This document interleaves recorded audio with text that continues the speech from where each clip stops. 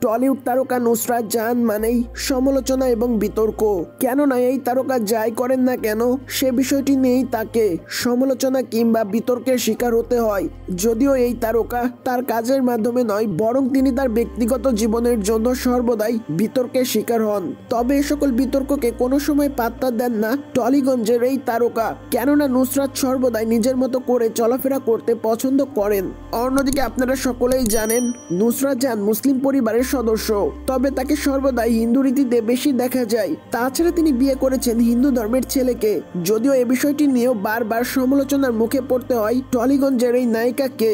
তবে যতই সমালোচনা বা বিতর্ক হোক না কেন সে সকলকে কোনো সময় গুরুত্বপূর্ণ ভাবেন না নুসরাত জাহান, তাছাড়া ঈদ থেকে শুরু করে পূজা পার্বণের সকল বিষয়ে দর্শকদের শুভেচ্ছা বার্তা দেন টলিগঞ্জের এই তারকা।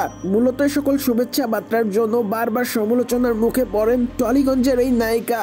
অন্যদিকে সম্প্রতি নুসরাত তার ইনস্টাগ্রাম হ্যান্ডেলে পোস্ট করেছেন, গোর গোপালের সঙ্গে তার তোলা একটি ছবি।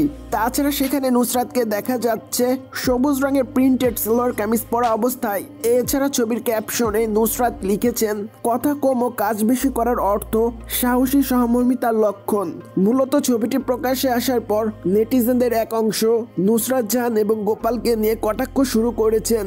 কেননা ছবিটির মন্তব্য বক্সে কেউ কেউ লিখেছেন, নুসরাত ও গোপাল একদম যোগ্য সঙ্গত নুসরাতের মন ও মাথায় নোংরামি ভরা। তিনি কি গোপালের কাছ থেকে ভালো কিছু শিখতে পেরেছেন? তাছাড়া নুসরাতের লুক নিয়েও কটাক্ষ শুনতে হয়েছে। নেটিজেনদের কাছ থেকে এই তারকাকে। তবে প্রতিবারের মতো এবারও এ সকল কটাক্ষকে পাত্তা দেননি টলিউডের এই নায়িকা।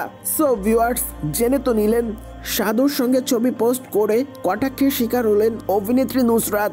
আর এই বিষয়টি নিয়ে যদি আপনাদের কোনো মতামত থাকে, তাহলে অবশ্যই আমাদের কমেন্ট বক্সে জানাতে ভুলবেন না। And subscribe channel for more update